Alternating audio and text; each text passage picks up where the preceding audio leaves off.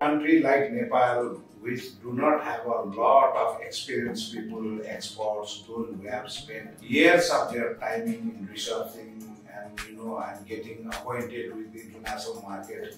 Tourism is not simply welcoming tourists from the airport.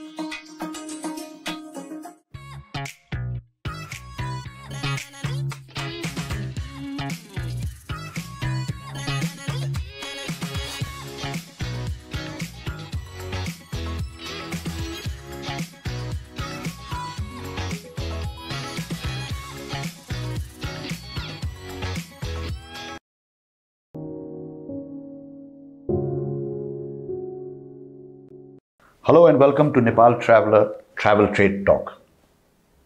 Once again, we're back with a very interesting episode and we have a very special guest, Mr. Suman Pandey, who is a prominent tourism entrepreneur in Nepal, a person who has uh, renown not just in Nepal but also internationally. And recently, he has taken on as the vice chair of PATA International.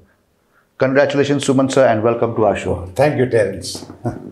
So, sir, on this recent uh, appointment as the PATA International, and that's the first time a Nepali is at that level, would you like to share your thoughts and what that means for Nepal? Uh, Terence, actually, I have a very interesting experience with PATA. I had been the member of PATA International since 1996. Those days, the fee used, Used to, to be be. $2,000 a year, quite expensive, you know, and I was paying. You know why I was paying the fee to be just to become a PATA uh, member to have that logo on my letterhead because I wanted to show international. But I never went to PATA International's programs. I never knew that they would be so instrumental and significant to what we are doing. So, accidentally, I became the chairman of PATA in 2013. Then I thought, you know, PATA Nepal chapter. PATA Nepal chapter Yes. In 2013. Then I thought now it is the time I should uh, have a first-hand experience of PATA International. Then I took part in uh, PATA annual summit that took place in Bangkok in 2013. There I realized, you know, how important, uh, instrumental, and significant that PATA could be to help the Nepalese tourism. Then I decided I would try to establish every sort of cooperation with PATA directly to the headquarter or any experts from PATA, any members uh, from PATA to bring in their expertise and uh, experiences through exchange programs. And I started organizing various programs in Nepal where they had been invited as guests. And my five years term, term in PATA became very vibrant and successful because of that. And with that, then I was invited to take part in the board because they all knew about my performance here in Nepal. So in 2020, I I stood for the election uh, for the post of secretary cum treasurer. We have one post for two positions in PATA, secretary and treasurer. And I had a competition with uh, a Malaysian colleague. And ultimately, I won because everyone's you know choice was me. So that was the first time, and in 2024, again, I stood for election. I was requested to continue. I did, and this time it was unopposed. And so this third term, I was a bit reluctant about uh, whether I should continue with PATA because I had started some other uh, subjects also here in tourism, here in Nepal. Then, but I received requests again from the colleagues that I should not be, you know, leaving and, and I should continue with PATA. I stood for uh, vice chairman, and it was very um, interesting uh, uh, to receive support from all the uh, members. And there was also a competition, and I was lucky enough to have this uh, colleague from American Guam who generously uh, stand stood with me, and he withdrew his nomination. Ultimately, I became unopposed. You know, so I mean, working as general secretary for four years, and now taking this position of uh, vice chairman for a two-year term, I find it as a new challenge because as a vice chairman now I have to directly compliment to the chairman. So wherever chairman uh, cannot uh, reach, you know, I have to complement to the gap. So definitely I would be working more hand in hand together with the chairman to take ta- uh, pa- uh, PATA towards a new initiative. You know, we have uh, come up with a new strategic plan 2030 where PATA will go through, you know, different uh, plans and we are basically trying to make PATA more useful and beneficial to our members. Being a non-profit association, we cannot look at making profit or revenue only. Whatever we earn, we try to make small revenue to maintain our headquarters. On top of that, whatever is received, you know, we will try to pay back to our members. This is how we would like to take part ahead. So, what is the significance in terms of this for Nepal? I mean, now that you have someone from Nepal as the vice chair, I'm sure Nepal as a destination now gets a little more highlighted. And uh, would you like to tell the travel trade here? See, Nepal has been the member of PATA since 1975. And for a country like Nepal, which do not have a lot of experienced people, experts, those who have spent years of their timing in researching and you know and getting acquainted with the international market tourism is not simply welcoming tourists from the airport no there are so many other factors uh, related and relevant to the business so for that you know pata comes up with many areas of need which can be complementing to the growth of our tourism so pata has uh, various uh, categories of members. One is the government. So directly the NTOs are participating as the government member. Uh, another is the industry member. So we people from the travel trade industry, including hotels, are the industry member, and another are the uh, consultant members. So that means people, those who are into consultancy and experts, you know, they become the expert members, consultant members. On top of that, we have student chapters, youth forums, and like this. One thing that I have uh, realized in PATA is PATA is full of experts. An expert who would be charging thousands of dollars, you know, for his few hours of services in consultancy could be available for free to its member countries. And that's why Nepal is one of the most engaged beneficiaries from PATA activities. Uh, if I need to take a few names, you know, uh, like uh, in 1976, right after we became the member of PATA International, PATA helped Nepal to draft the overall tourism policy strategic plan for Pokhara. Today's Pokhara was what uh, was initially suggested by PATA. Mm.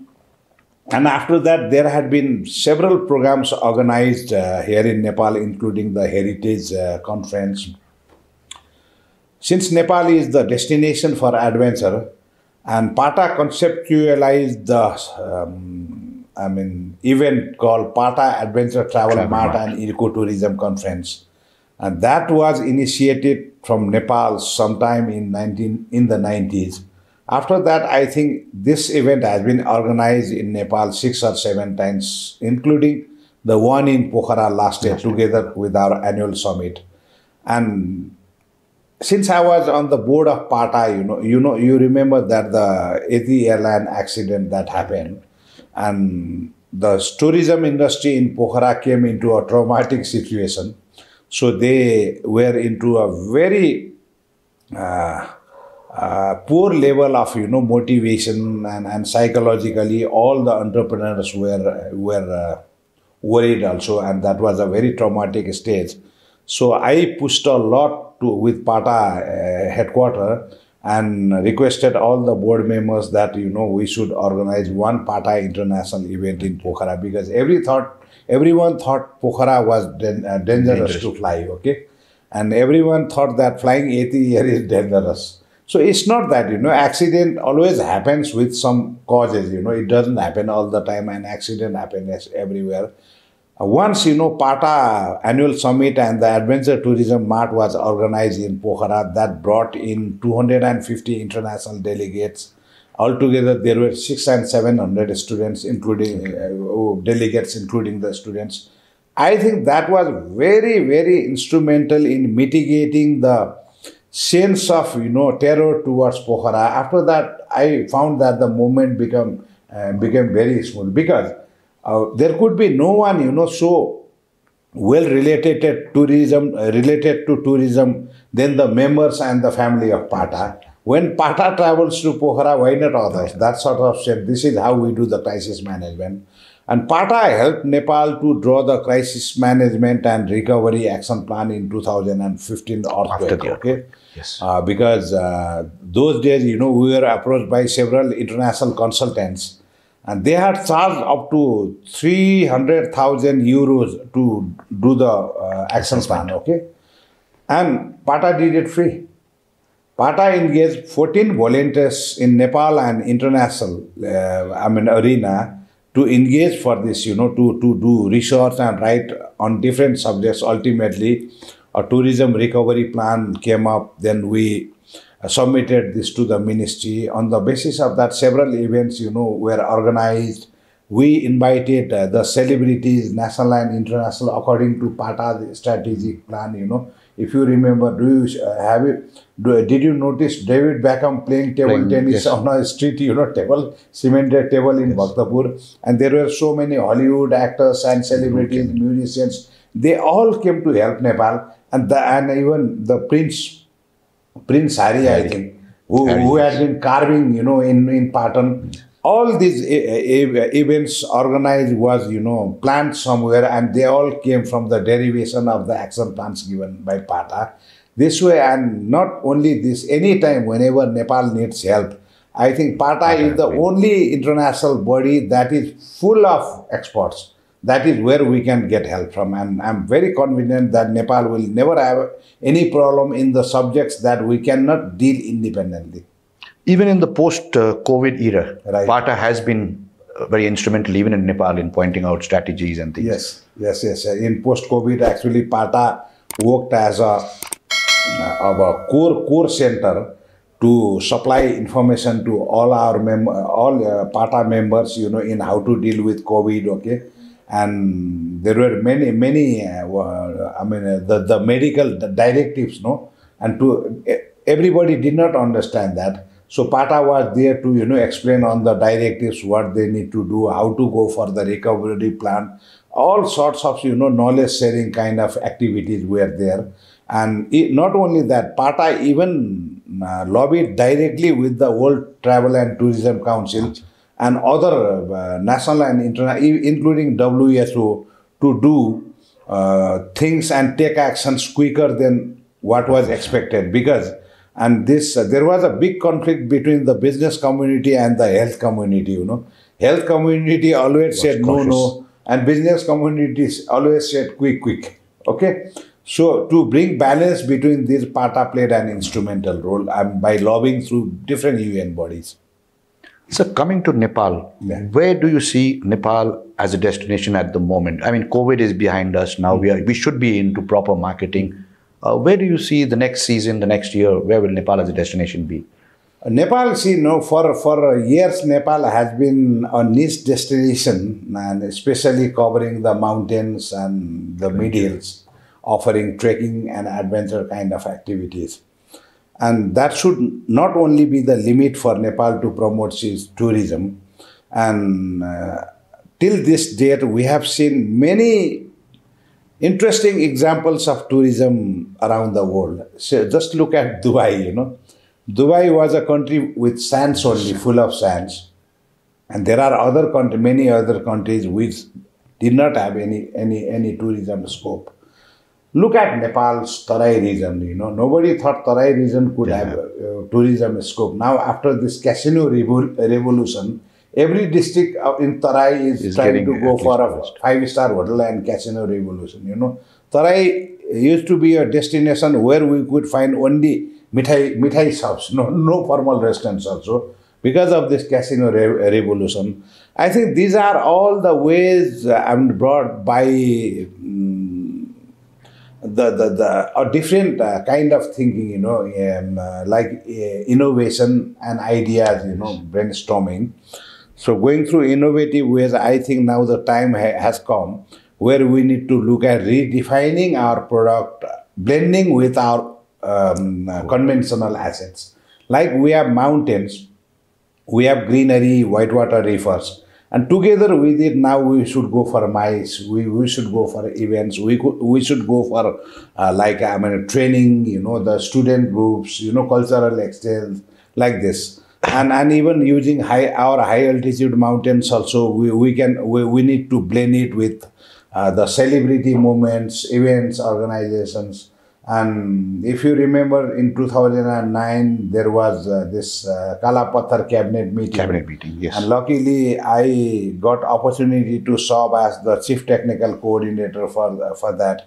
Basically, that was my brainchild because it, before it was a dropped idea um, saying that it's not feasible. But somehow we could do it and I got opportunity to lead that. After that happened successfully, you know what was the media exposure? 17.2 million media worldwide that was counted by google okay? So this kind of uh, events we can bring every time every month every week you know? At everest base camp there can be an international event every yeah. week. See I just imagine you know at this time of digital world how much of publicity we could get. and our rules are quite conventional and we in many ways we are not compatible to the change that's coming very fast. And we have to think quite quicker in this and make ourselves smart and competitive.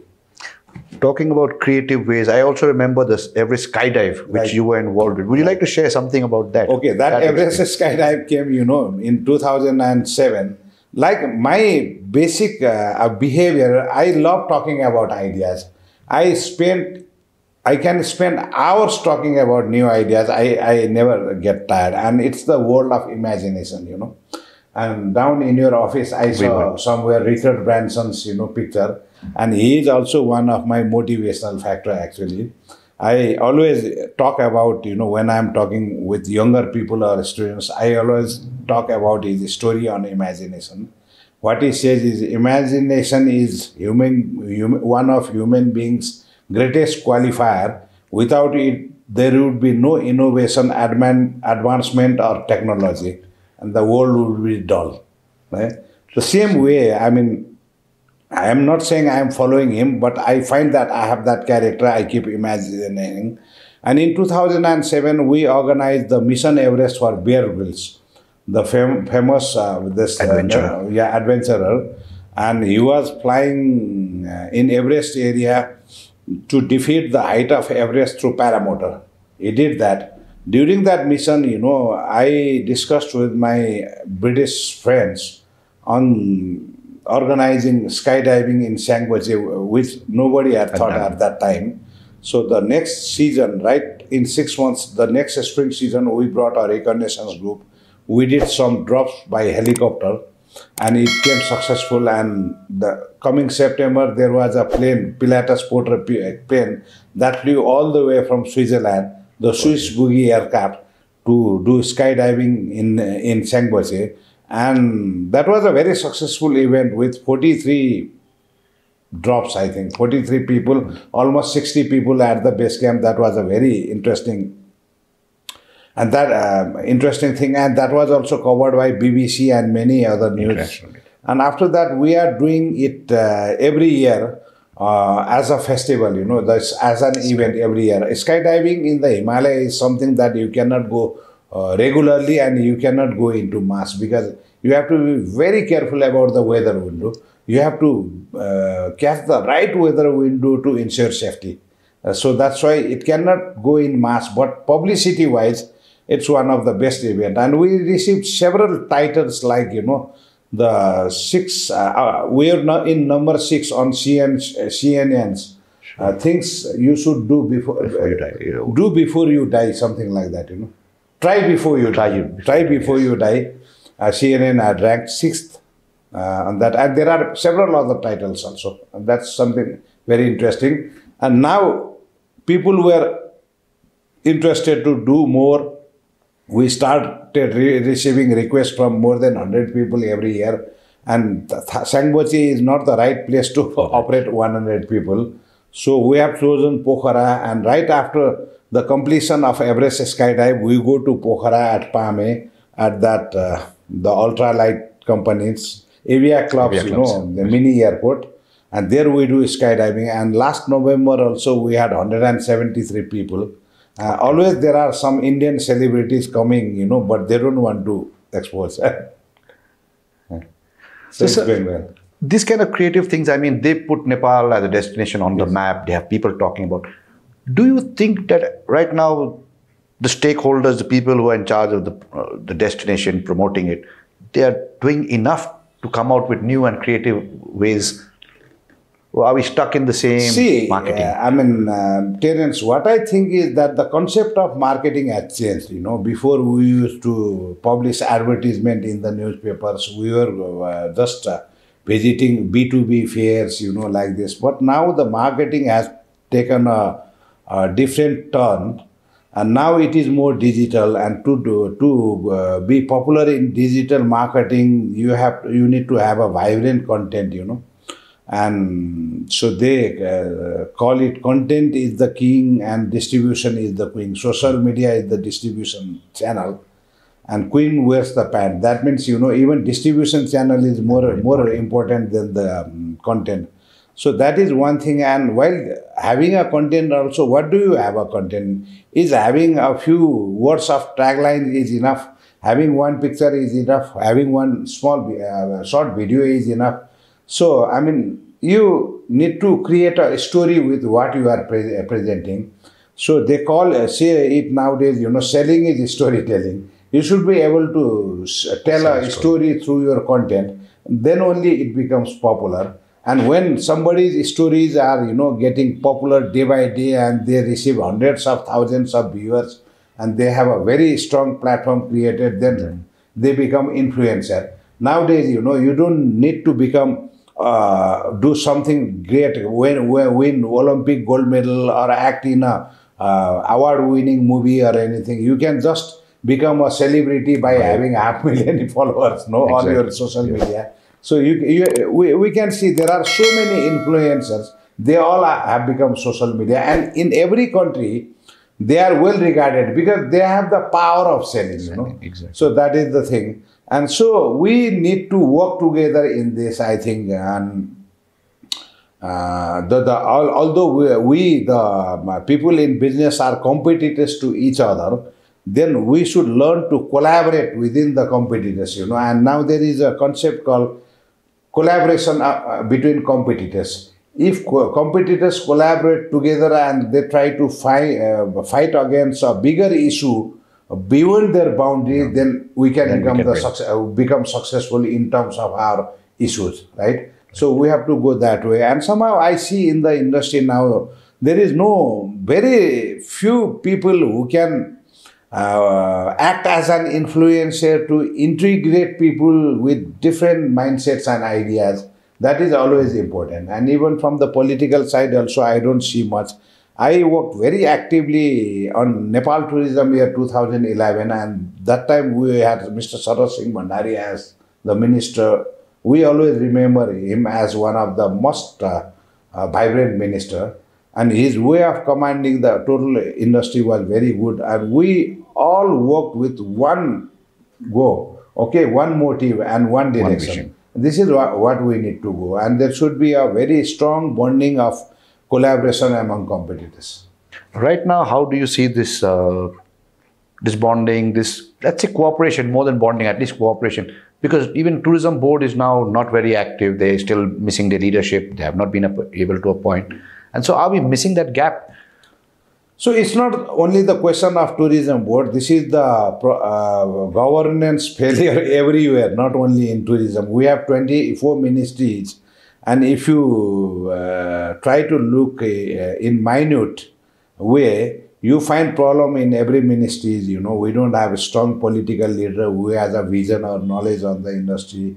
Secretary secretaries are changing, quite often. No, and now there is a lot of uh, tension within the Nepal Tourism Board. Or again, it has uh, gone into court proceedings. You know, Nepal Tourism. It happened for a long time, and we had to sacrifice a lot to, I mean, clear out that situation. Now it Again, has uh, uh, again so. Uh, it has again gone into the same situation. There, there is a a strong sense of disintegration within the team of Nepal Tourism Board. Industries representatives, you know, going to Nepal Tourism Board are not being compatible to what the real need is. You know, all these uh, things make our industry quite weak. And my only uh, thinking of for solution is that you know we need to have strong leaders uh, both from the government sector, the bureaucratic sector, and also from the private sector. So now that you are with the international uh, PATA, yeah. perhaps you could take a lead. And what are your ideas? I mean, See, because tourism board is going to be in this legal issue for some time, but yeah. the marketing cannot stop. The the promotion cannot stop. See, uh, Terence, you know, right now I am the vice chairman of PATA, and we have 63 countries involved in uh, PATA. So my first priority now would be to solve PATA on its uh, broader um, initiatives, okay? Uh, definitely being a Nepali citizen, Nepali entrepreneur, and as a Nepali industry leader, leader, working in various associations as president and secretary for a long time, associated with Nepal Tourism Board and many events, and it becomes my duty also to help Nepal. But I don't have any way to uh, make a direct intervention here. If I was the chairman of PATA, you know, I could integrate all trek operators and go to the minister and say, you should do this, you should do this. So um, I don't have, I don't but maybe now you could get stakeholders from TAAN, NATTA, everybody because they will look up I you. don't, I don't have any, you know, ground level, I mean, organization now, but definitely, you know, I am, I'm in consultation with the association leaders. With all of them, yes. So I can, at maximum level, play an advisory role and working with, uh, with PATA, you know, and and again, you know, trying to integrate the association chairman and trying to, you know, uh, work in more political way that may be harmful between because ultimately it is the government that may be harmful between for on the relation between exactly. government of Nepal and PATA International. So I have to acknowledge to that also. Uh, whatever level of you know vibrance I have within me sometimes I need to suppress it. to keep it bureaucratic. I have to be more diplomatic, about it. But exactly. any sort of exercise uh, and any sort of opportunities that I could bring through my contact, my network, you know, my own involvement in national and international organizations, I should be, you know, trying to help Nepal. It is always there, not only in my lips, you know, on my in my lips, but in my heart. You know, I have been there all, all the time. Thank you so much, sir, for taking the time and coming to meet us. Thank you. Thank it's you. a great opportunity. Yeah.